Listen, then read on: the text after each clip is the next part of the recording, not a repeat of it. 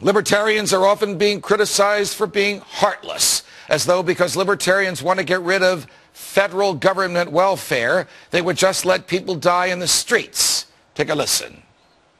My advice to him would have a major medical policy, but not before. But he doesn't have that. He doesn't have it, and he's and he needs he needs intensive care for six months. Who pays? That's what freedom is all about: taking your own risk. This whole idea that you have to prepare and take care of everybody.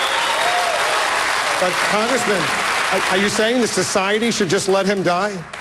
You're saying that society should just let him die. The question is silly, but the truth is compassionate.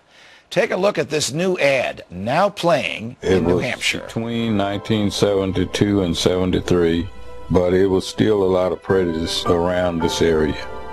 My wife was sick and nobody came to check. Well, I believe I was left there because of the difference, uh, me being black and her being white, and I didn't know anything to do. Well, then Ron Paul come to my rescue. He just stepped in, and 10 minutes later, she had a stillborn boy child. I never got a bill from the hospital or anything, and he was a doctor of medicine, and he was doing it because he think of one human being just as much as another. Joining me now is the man in the ad, James William. James Williams, in a Fox Business exclusive. James, it's a pleasure. Welcome to Freedom Watch. Thank you. James, why did you make that ad endorsing Dr. Paul and telling the painful story of what he did for you and your wife many years ago?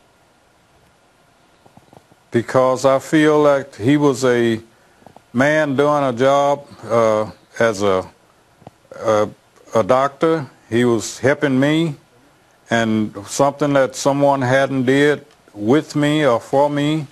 And when he came to my rescue, I feel like that uh, I should uh, praise him for that.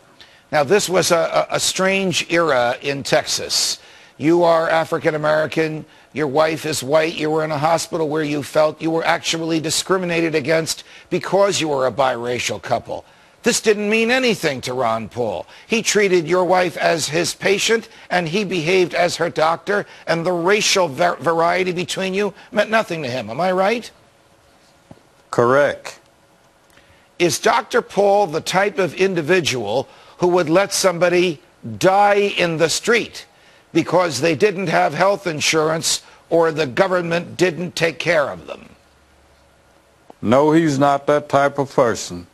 What kind of a person is he, Mr. Williams?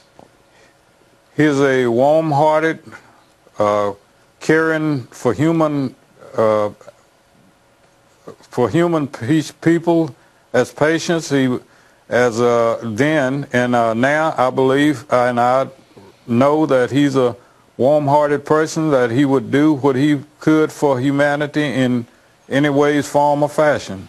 James Williams, it's a pleasure. Thank you for coming on the show. Thank you for making that ad. Good luck to you, sir. Thanks for